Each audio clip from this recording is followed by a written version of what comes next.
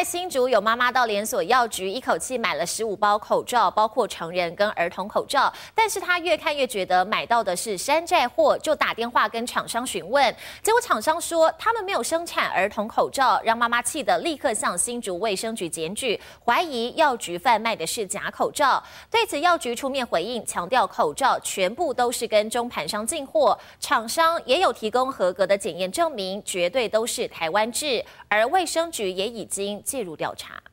好几包口罩一字排开，一位新竹的妈妈日前一共买了两包成人口罩和十三包儿童口罩，但回家之后却觉得口罩越看越奇怪，怀疑可能都是假货。民众拿出合格厂商口罩的图和自己买到的口罩比一比，发现他买的散装口罩不但没有压边，压孔变成四孔，甚至连 NIT 制的钢印都相当不明显，气得向药局投诉。没想到更夸张的还在后头。这间公司我们打电话去询问，他们没有生产。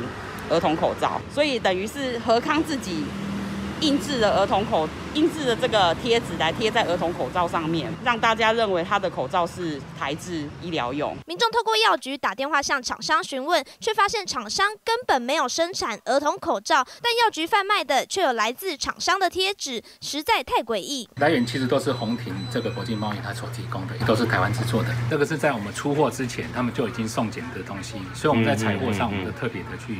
做一个把关，这样。药局售出厂商证明，强调口罩绝对都是台湾制，只是投诉者根据药局给的厂商电话打过去，根本没人接。你所拨的号码无人回应。究竟中间环节出了什么问题？目前卫生局正积极介入调查，只是来路不明的口罩，民众也不敢用，建议还是选用有医疗器材许可证的口罩，才能有保障。